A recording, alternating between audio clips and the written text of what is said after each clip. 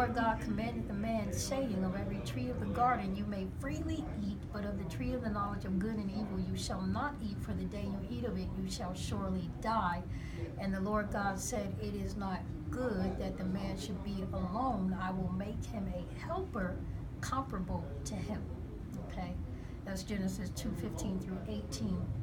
Now, what I pointed out before, which what is so powerful about that, is precious. Right after the Lord says it is not good for man to be alone, and He says He's going to make him a helper comparable. And the next verse it says, Out of the ground the Lord formed every beast of the field, bird of the air, and brought them to Adam to see what he would call them. And whatever Adam called each living creature, that was its name. So you think that after God said it's not good for man to be alone, the next thing he'd do would, would be to bring him the woman, right? But that's not what happens. The next thing that happens is he brings him the animals. and he gives an identity to all of these animals. And the reason that that happens is, I believe, is for Adam to have that awareness that none of these animals were comparable to him. They weren't compatible because remember he needed a helper okay? He said it's not good for man to be alone. I will make him a helpmeet is what one scripture says a helpmeet uh, a compatible helper. So it's said different ways in different texts but in other words he needed someone that was compatible to his assignment right? If all he all he had to do this is very powerful at that time adam had been given three things that he needed to do okay he only had three assignments. The first thing that God told him to do was to be fruitful and multiply. The second thing was to tend and keep the garden. The third thing was to not eat of the tree of knowledge and good and evil. He had been given three simple instructions. Okay? He needed a helper that was compatible to him.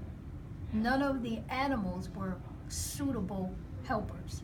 They were not suitable because they did not give him the opportunity to embrace his glory. They couldn't satisfy his need for fellowship, for a companion, and he could not become one with them. He could not reproduce his glory with those animals. So uh-huh. again, ladies, you gotta understand, a man is wired to need you.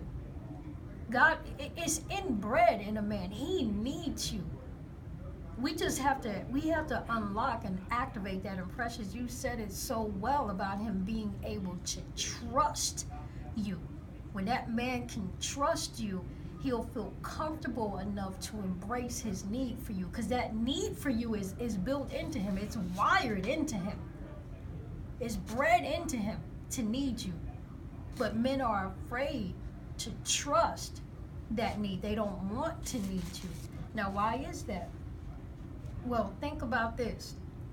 Okay, Adam had three things to do. Eve was supposed to, his wife was supposed to help him. And I know this is kind of hard, and I think this is why the lady said that my show was sexist, because I made this statement and she really didn't like it. I said, man was not put here for woman, woman was put here for man. That's just a simple truth. Adam lived in a perfect environment.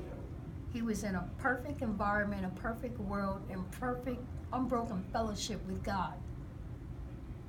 Man was not put here for woman, woman was put here for him, to help him